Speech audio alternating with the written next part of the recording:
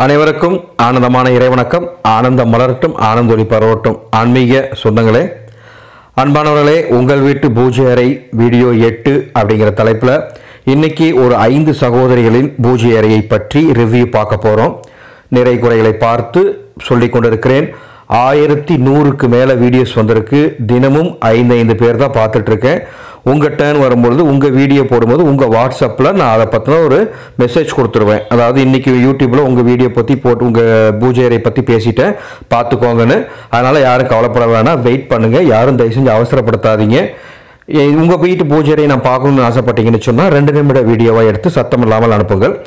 அன்பானவர்கள் என்னிடம் ஏதாவது சந்தேகம் கேட்கணும்னா வாட்ஸ்அப் மூலமாக கமெண்ட் மூலமாக கேளுங்க. எந்த விதமான ஆன்மீக பொருட்களும் முறையாக சாபங்கள் நீக்கி உங்களுக்கு அனுப்பி வைக்கப்படும். ஆனந்தொழி டாட் காம் போய் வாங்கிக்கோங்க. அல்லது எங்களுக்கு வாட்ஸ்அப் மூலமாக தகவல் தருங்க. எந்த பூஜை பொருள்னாலும் தரேன். முதலாவது சகோதரியின் வீடியோ பார்க்கலாம். முதலாவது வீடியோ. இந்த வீடியோ கொஞ்சம் ஷார்ட்டாக தான் எடுத்து அனுப்பியிருக்காங்க. வேகமாக சொல்லணும். அந்த மாயில் வாடி இருக்குது எடுத்துக்கோங்க.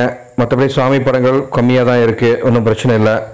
நல்லா இருக்குது தீபம் ஒற்றைப்படையில் இருக்க மாதிரி பார்த்துக்கணும். நான்கு தீபம் எரிகிற மாதிரி தெரியுது. நான்கா மூணான்னு சரியாக தெரியல. ஏன்னா டக்கு டக்கு நீங்கள் வேகமாக பண்ணிட்டீங்க. தீபம் ஒற்றைப்படையில் இருக்கட்டும். வலம்புரி சங்கு சிறியது வைப்பது நல்லது. மற்றபடி அனைத்தும் நன்றாக உள்ளது.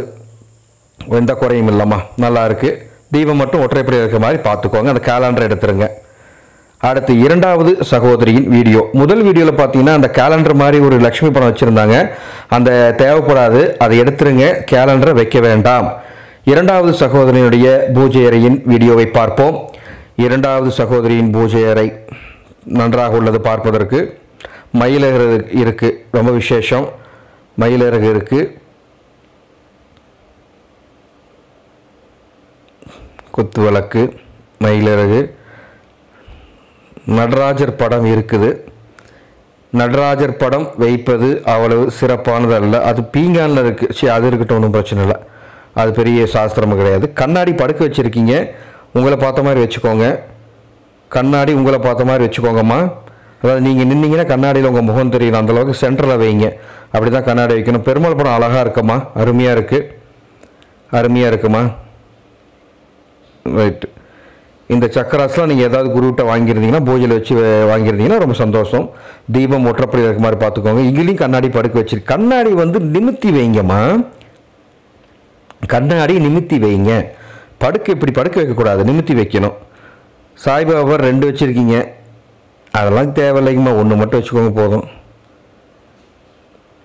சரி ரைட்டுங்கம்மா. சாமி படங்களுக்கு பூ போட்டு வச்சுக்கோங்க பொட்டு வச்சுக்கோங்க.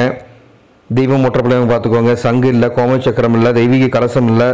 மயிலரக ஒன்று மட்டும் இருக்குது நல்லா இருக்குது முடிஞ்சளவுக்கு இதெல்லாம் வாங்கி வைக்க முயற்சி பண்ணுங்கள் கண்ணாடி நிமித்தி வச்சுக்கோங்க. இந்த சக்கராஸ் வந்து ஒரு குருவிட்ட வாங்கியிருந்தீங்கன்னா சந்தோஷம். இருக்கட்டும். முறையாக அது சாபம் நீக்கி ஏன்னா எந்த ஒரு சக்கரத்துக்கும் சாபங்கள் இருக்குமா? அந்த சாபங்கள் நீக்கி வாங்கும் பொழுது தான் அது பலன் தரும். தீபம் ஒற்றைப்படையில் இருக்கட்டுமா? தீபம் ஒற்றைப்படையில் இருக்க மாதிரி பார்த்துக்கோங்க. நல்லா இருக்கு. உங்கள் பூஜை நல்லா இருக்கு. பெருமாள் தான் அம்சமாக இருக்கு. நல்லது.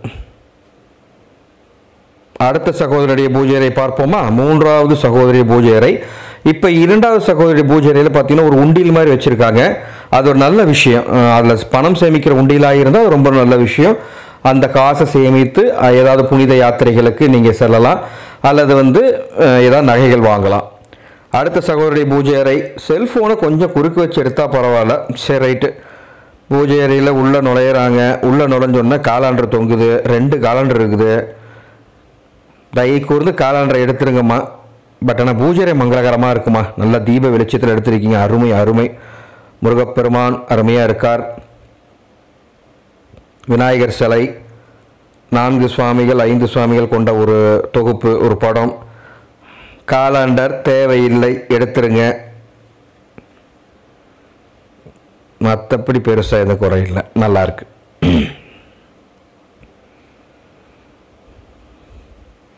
இந்த வீட்டு பூஜையிலையும் தெய்வீக கலசம் இல்லை.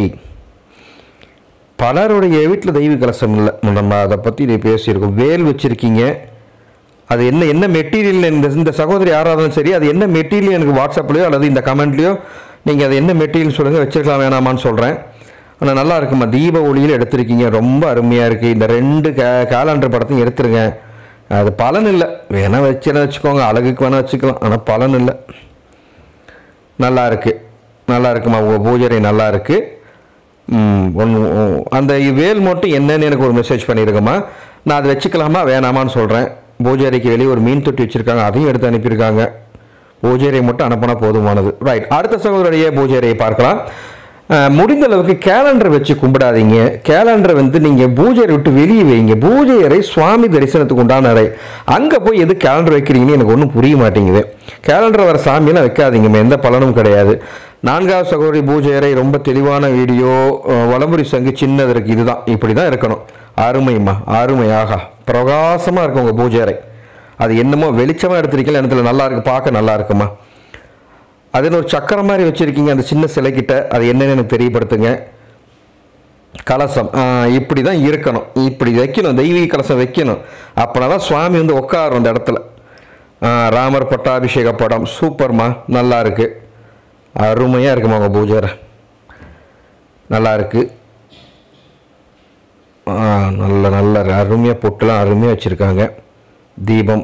ஒற்றைப்படையில் இருக்கிற மாதிரி பார்த்துக்கோங்கம்மா. கலசம் தாங்க ஒரு பூஜை இறக்கி அழகு. கலசம் வைக்கணும். அதான் பூஜை இறக்கி ஒரு அழகு எடுத்து தரும்.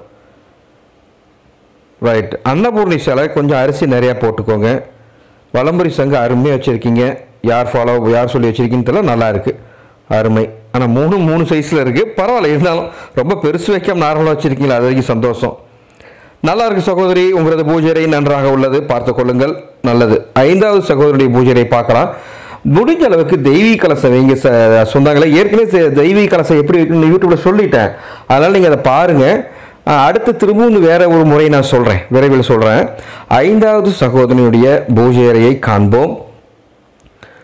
ஐந்தாவது சகோதரி பூஜை அறை சமயபுரத்தால் இருக்கா? நேரு இருக்குது. விநாயகப் பெருமான் விளக்கு. இது என்ன? ரெண்டு பூஜை அறையா இல்லை பூஜை பக்கத்தில் இதா ஓ செல்ஃபும் வச்சுருக்காங்க பக்கத்தில் இது கபோர்டும் வச்சுருப்பாங்க போல இருக்குது சரி ரைட்டு துர்கை அம்மன் சூலாயத்தோடு இருக்கிற மாதிரி படம் வச்சுருக்கீங்க. எடுத்துருங்கம்மா அது வேண்டாம். என்னுடைய ஆலோசனை இது. சூலாயத்தோடு சூலாயத்தோட இருக்கிறது வந்து நாக்கு வெளியே இருக்கிற மாதிரி இருந்தால் வேண்டாம். நாக்கு உள்ளமாய் சாந்தமாக இருந்தால் வச்சுக்கோங்க. நாக்கு உள்ளே வச்சு நாக்கு வெளியே நீட்டி இருக்கிற படம் தான் வேணான்னு ஏன்னா நீங்கள் அதை க்ளோஸ்அப்பில் காட்டல. அதனால் அந்த வார்த்தையை சொன்னேன். நல்லா இருக்குமா?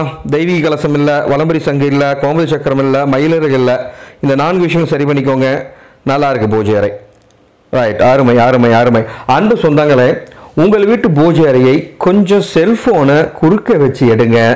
அப்போ தான் வியூ பண்ண முடியும். இன்றைக்கி பார்த்தீங்க இந்த ஆடியோவில் முதலாவது பார்த்தோம் பார்த்தீங்கன்னா ஒரு சகோதரியினுடைய பூஜை அறை.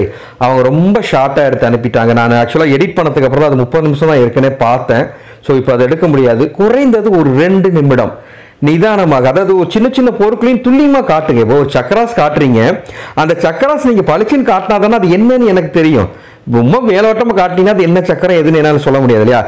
முடிஞ்ச அளவுக்கு கொஞ்சம் துல்லியமாக காட்டினீங்கன்னா நான் அதை பார்த்து சொல்கிறதுக்கு ரொம்ப ஒரு ஒரு வசதியாக இருக்கும். எனக்கு கொஞ்சம் ஈஸியாக இருக்கும். சரிங்களா? இந்த காலத்தில் யார் சொல்கிறாங்க இப்படி சொல்லுங்கள் பார்க்கலாம். அதனால் தெளிவாக காட்டுங்க. நான் தினமும் போயிட்டே போட்ட போட போகிறேன் உங்கள் வீடியோ கட்டாயம் வரும். தெளிவாக எடுத்து அனுப்புங்க. தெளிவாக எனக்கு தெரிஞ்ச கருத்துக்களை உங்களுக்கு சொல்கிறேன் தெய்வீக கலசம் விரைவில் இன்னொரு முறை நான் விரைவில் உங்களுக்கு நான் சொல்கிறேன் அனைவர் வீட்டிலும் தெய்வீக கலசம் இருக்கணும்.